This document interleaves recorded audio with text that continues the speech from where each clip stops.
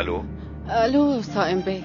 كيف صرتي توليب خانم؟ أنا منيحة شكرا كثير أنت كيفك؟ ماشي الحال. عرفتي إنه أفرجوا عن صالح افندي إيه صح. هلأ عرفت كان عندي. بدي أتشكرك كثير على الشيء اللي عملته معنا. أه بدي خدمة منك لو سمحت. تفضلي. موضوع التعويض أه بدي منك يعرف صالح أفندي إنه عمر هو اللي دفعه. بظن إنه هلأ رح يتصل فيك. بعتذر ما بقدر. عمر بيك طلب مني ما خبر حدا. إيه الحق معك بس آه ممكن المحامي اللي بيشتغل عند حضرتك هو اللي يجاوبه. كيف يعني توليب خانم يعني فيك تقول إنه المحامي ما كان عنده خبر برغبة عمر. مثلا. طيب مثل ما بدك وافقت. آه حلو كتير. عن جد شكرا كتير لحضرتك. لا ولو. الله معك. مع السلامة.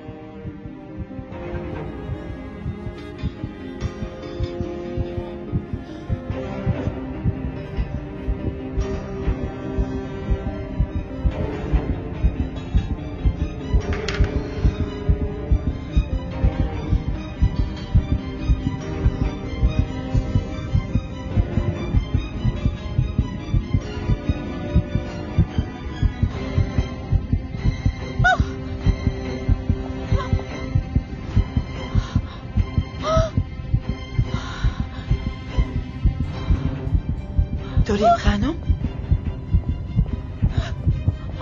توليب خانم. توليب توليب بابا.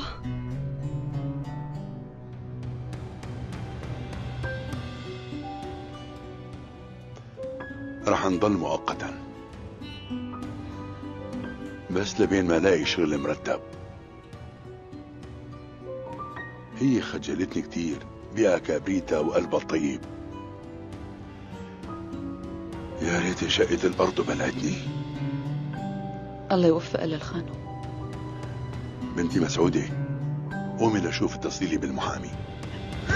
توليب خانم يلا عدي شوي خدي نفس خدي نفس حبيبتي يلا. بدي ارجعك لا تتركيني لحالي. لا بقدر اهدى حبيبي اهدى حبيبي لا تخاف. هذا أكيد عمر بيك. أختي أنا ما بقدر أعيش بلاك أنا بموت إذا صار لي شيء. دكتور عمر الحقنا ما عم تقدر تتنفس ولازمها اسعاف توليب يا أنا وش عمر أختي موتي خلص جهاد. لا تخاف لا تخاف جهاد. انت بتعرف مين دفع التعويض بالدعوة يلي رفعتها ناجية مرة رجب مو توليب خانم يعني. طيب. شكرا كتير.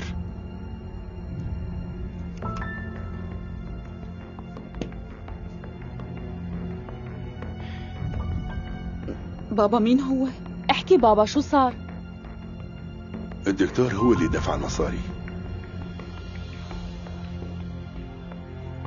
عم تقول عمر بيك؟ صدقني ما بعرف أختي. احكي شو صار بيناتكم لحتى هو أنا ما كنت بعرف بالموضوع بابا إيه حكيها مزبوط. رحنا على بيت خالي ناجية لحتى نتفاهم معها قلنا لها منسجل البيت باسمك بس ما قبلت. بابا أنا اللي حكيت مع المحامي وقتها وهو قال لي اللي دفع المصاري ما بده إياكم تعرفوه. ففكرنا إنه توليب خانم اللي دفعت. حتى جوري راحت وتشكرتها.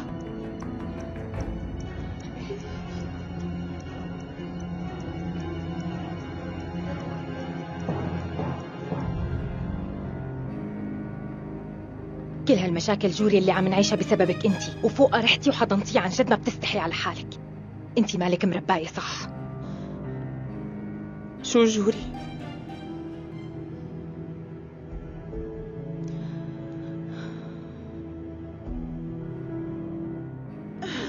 يا ربي شوفي. جيبي هدول. أدوية توليب خانم شو هدول ست خالدة؟ ادوية للقلب. دكتور عمر كاتبهم. كمان اجتها نوبة والله بعد الفضيحة اللي تسببتوا فيها امبارح. إذا بيصير أي شي لتوليب خانم يمين علي إني بحرقك أنت وكل عيلتك. عم تفهمي علي؟ بحرقك.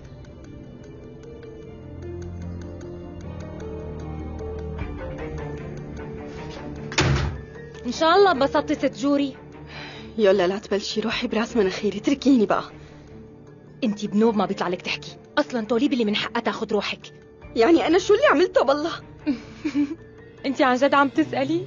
شو ما سمعتيها شو قالت؟ بعد فضيحتك المخلوق انت كست بتعرفي لو إنه أنا مكانها بهي اللحظة كنت موتك بإيدي التنتين.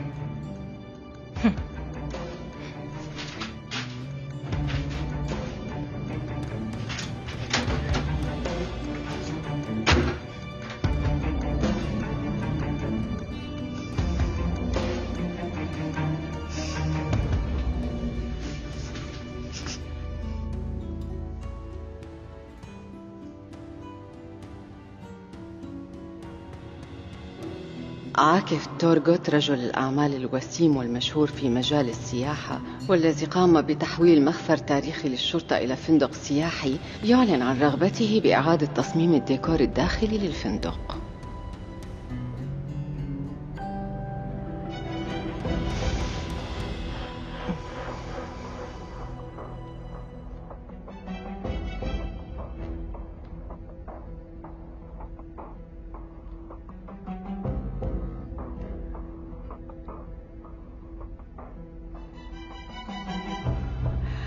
ألو؟ عاكف؟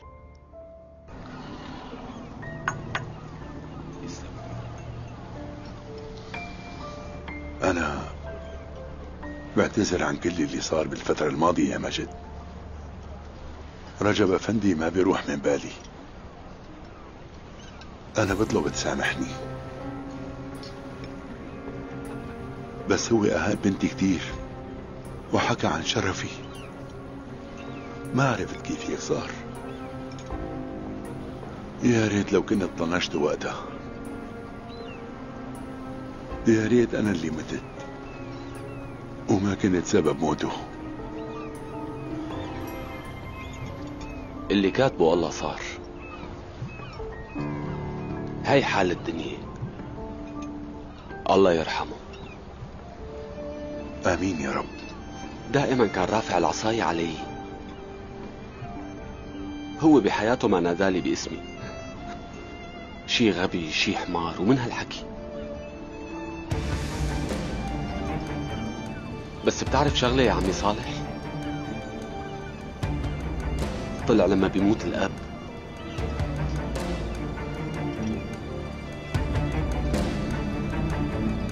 بينكسر جواتك شي.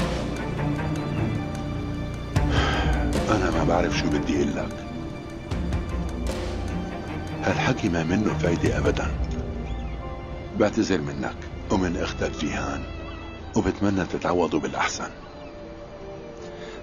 بعرف يا عمي صالح كل اللي صار حدث مو مقصود.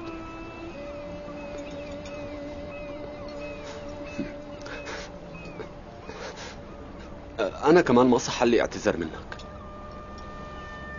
أبي لما قال إنه شاف جوري مع هداك الدكتور وحاضنين بعضهم ما بعرف شو اللي صار لي. ركب فيني عرق الحيواني. وانت بتعرفني ولا تنسى ما كان مارق على كتب الكتاب غير أسبوع. بعرضي ما كنت عرفان إنه أبي سكران. وعم يألف من عنده هالقصص. صدقني. لهيك خطفت بنتك.